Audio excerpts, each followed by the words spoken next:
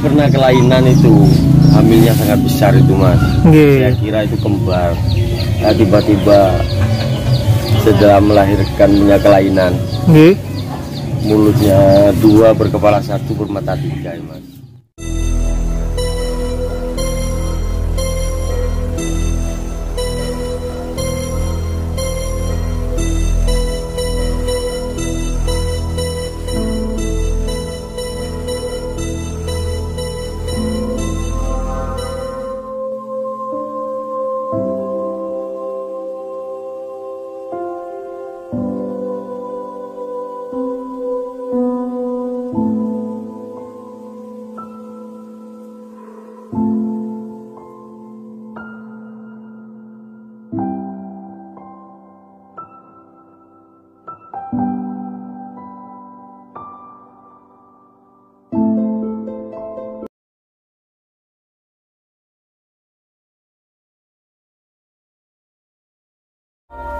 Bismillahirrahmanirrahim.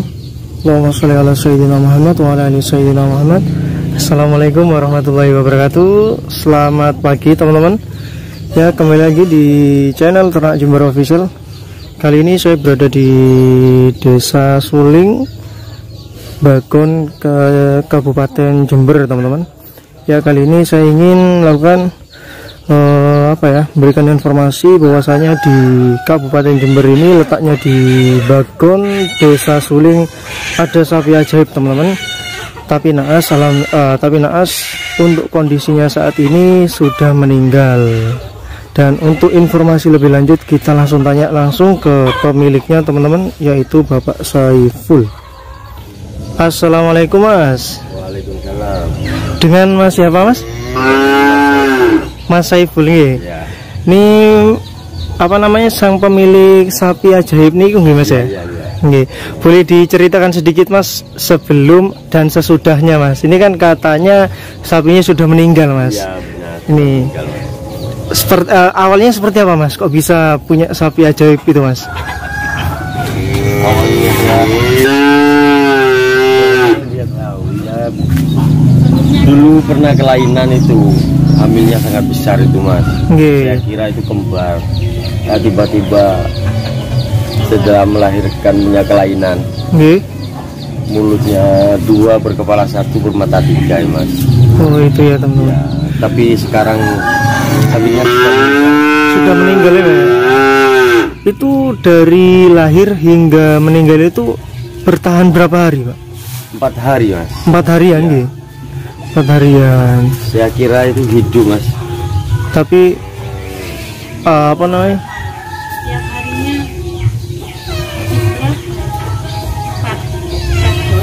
Empat botol setiap hari itu. tiap hari Hmm, itu susunya apa namanya dikasih sendiri mas ya? ya dikasih sendiri Oke oke oke.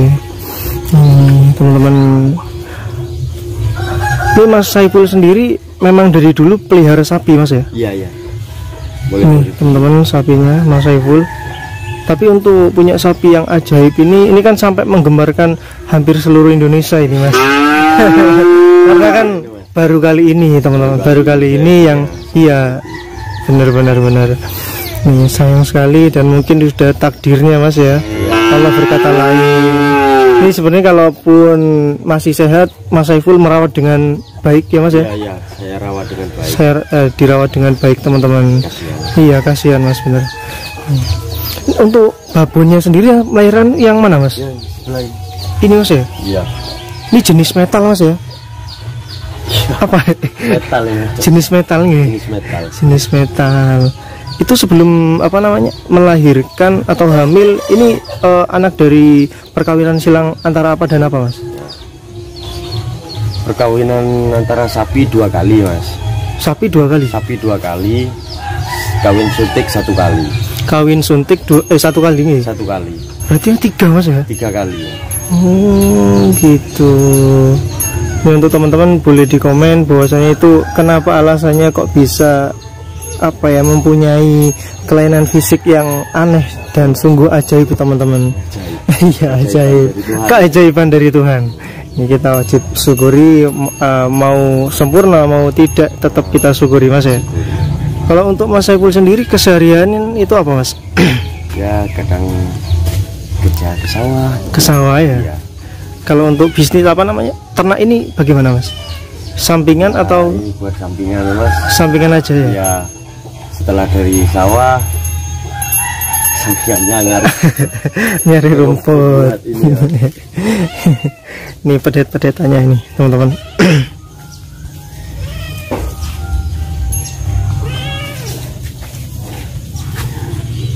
ini juga dijual juga mas nanti ya mas.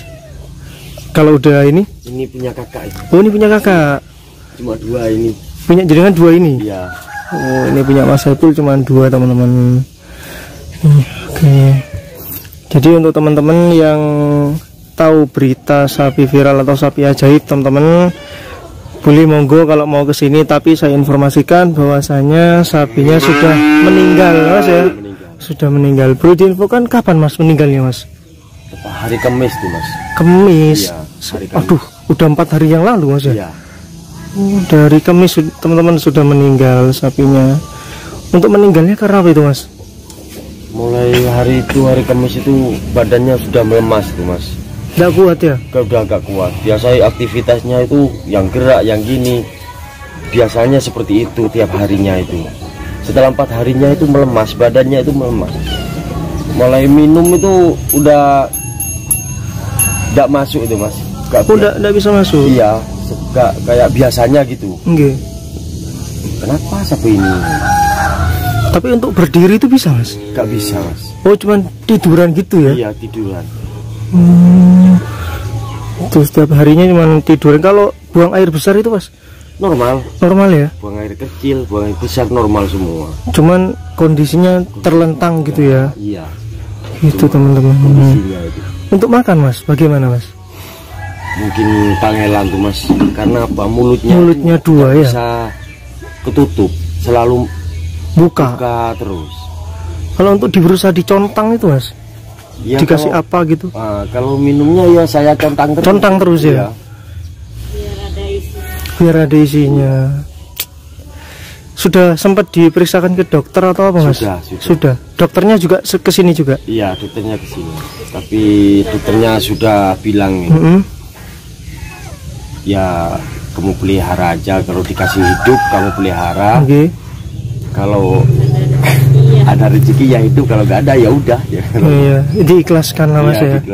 Kasihan teman-teman. Iya. Dan dokternya pun baru mena- me- menangani itu baru kali ini berarti mas ya? Iya, iya. Sepertinya belum ada mas, belum ada. Iya belum pernah ada. Untuk kuburannya di sebelah mana mas? nah itu ada ada bunganya itu Oh ini teman-teman kita lihat. Ini kuburannya teman-teman. Ini mas ya? iya iya iya Ini ini patokannya warna putih ini bunganya teman-teman.